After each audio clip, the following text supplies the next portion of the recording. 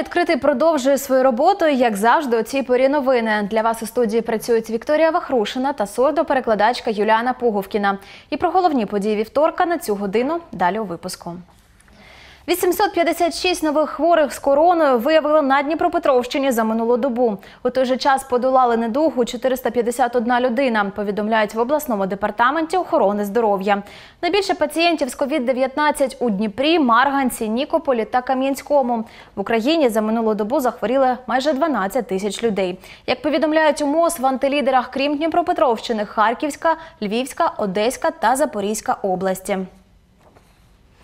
Крім того, у МОЗ пояснили, хто має право на безкоштовний ПЛР-тест. Зокрема, тестуванню підлягають не лише пацієнти з підозрою на коронавірус. Сімейний лікар має обов'язково призначати його і хворим із ознаками інших ГРВІ чи пневмонії та контактним особам. Однак за умови, якщо пацієнту не проводили скринінговий швидкий тест на корону, якщо вам відмовляють у безкоштовному ПЛР-тесті або у вас немає сімейного лікаря, звертайтесь на гарячу лінію МОЗ 0800 505 201. ПЛР-тест або сертифікат про вакцинацію відтепер вимагатимуть у пасажирів, які курсують міжобласним транспортом, потягами та літаками. Новацію запроваджують в Україні із 21 жовтня. Нові правила пасажирських перевезень на період карантину затвердив Кабмін. Уже за тиждень вони запрацюють у регіонах із жовтим, помаранчевим та червоним рівнем епіднебезпеки. Водії, екіпажі та пасажири відтепер повинні мати при собі негативний ПЛР-тест або сертифікат про повний курс вакцинації чи отримання однієї дози. Карантинні обмеження не стосуватимуться міських та внутрішньообласних перевезень.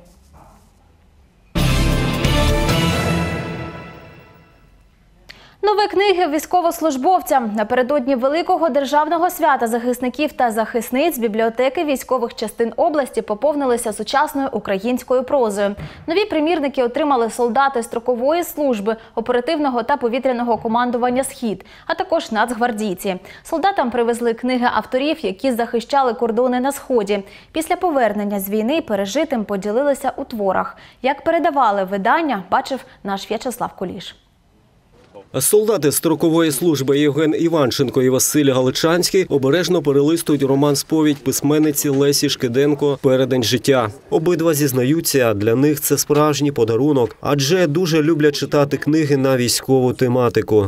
Я вважаю, це близько буде як мінімум, тому що зараз я є військовослужбовцем, і мені буде вже цікаво подивитися, почитати, як себе почувають люди, які знаходяться на фронті, що вони переживають там, поки ми проходимо службу тут. Е, Я більше люблю про е, війну, про армію, щось таке читати. Я дуже добре, що нам дали ці книги. Це реально. Я дуже. Я сьогодні точно прочитаю цю книгу і хочу теж багато чого нового дізнатися про себе. У військовій частині повітряного командування «Схід» розповідають, молодим воїнам належить знати сторінки України. Бібліотечний фонд поповнюють книгами про історію країни та бойові дії на сході держави. Це надважливо для сучасного воїна. Особливо це важливо для молодих воїнів, які тільки приходять до військової частини і ще не були е, в зоні операції Об'єднаних сил. Для того, щоб вони знали, як- як героїчно захищали і Донецький аеропорт, і Луганський аеропорт, як героїчно боролися е, військовослужбовці за те, щоб зберегти в першу чергу територіальну цілісність та незалежність нашої країни. У книгах, що отримали бібліотеки військових частин, є і спогади військовослужбовців і добровольців, що були у полоні, та відчуття родин загиблих, які втратили близьких на війні.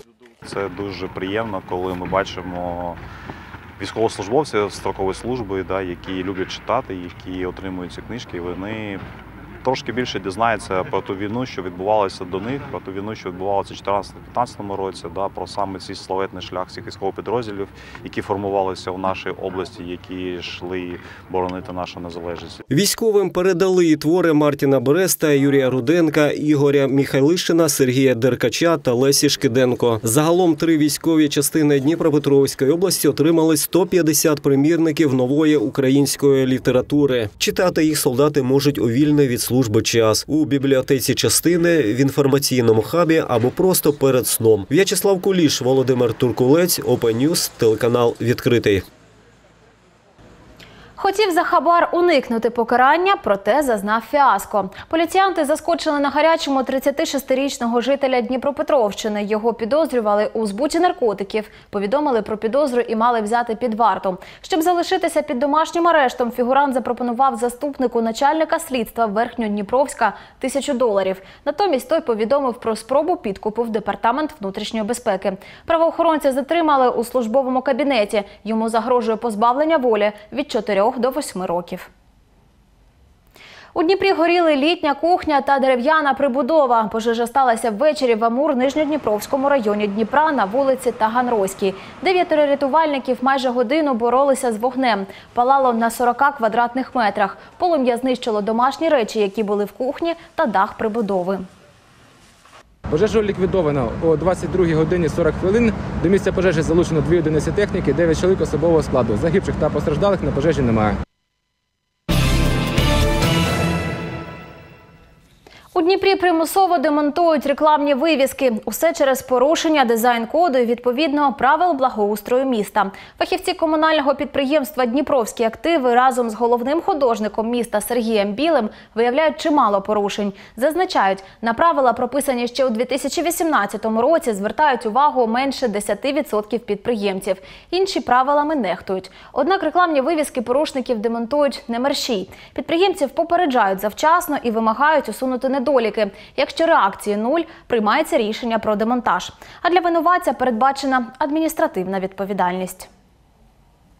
Складається адмінпротокол, він е, на винну особу. Тобто, якщо ми говоримо про суб'єктів підприємницької діяльності, то згідно законодавства е, може бути накладений штраф від е, 850 до 1700 гривень. Дизайн-код не запрещает ни рекламу, ни вывески. Он не говорит о том, что это большая, это маленькая. Он э, а, защищает фасад от неправильных конструкций, от конструкций, которые загораживают архитектурные элементы. То есть э, целью дизайн-кода, то есть, грубо говоря, мы расставили приоритеты, что фасады города гораздо важнее, чем реклама. Ну, реклама тоже необходима, но он- она может находиться на фасадах, На Дніпропетровщину прибула нова партія бейбі-боксів – понад 400 скриньок. Всередині все, що потрібно малюкові в перші місяці життя. Засоби догляду, зимові і літні речі, іграшки, пелюшки, рушники, підгузки і ковдра. Про це повідомили в обласному департаменті соцзахисту населення. Пакунки малюка закуповує держава. Батьки отримують їх безкоштовно в пологовому будинку або за місцем проживання в управлінні соцзахисту. Замість готового набору за бажанням можна отримати і грошову компенсацію.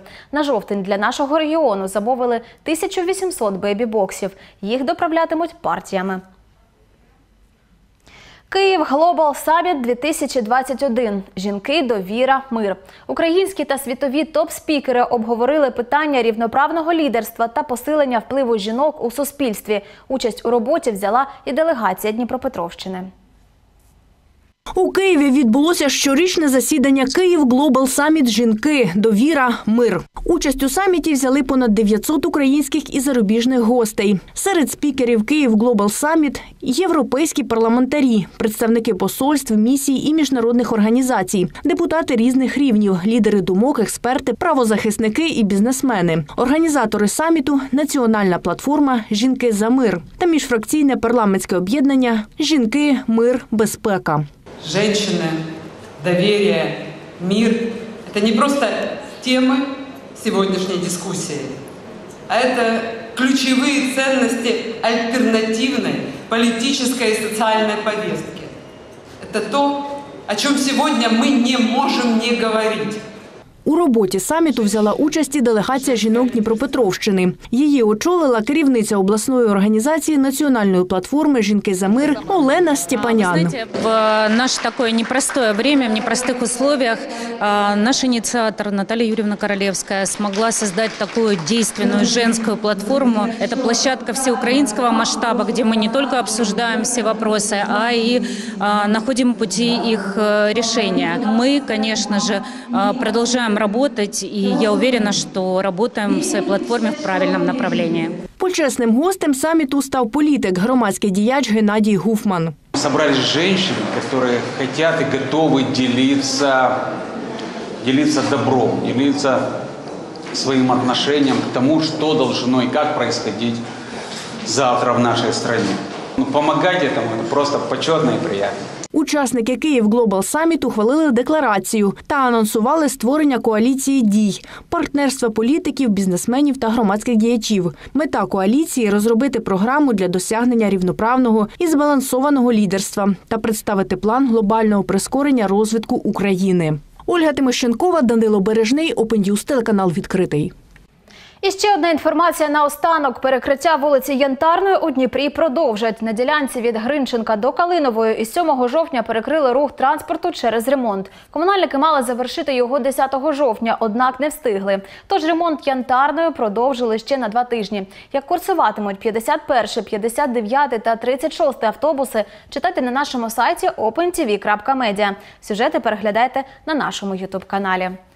Залишайтесь відкритим і продуктивного вам дня.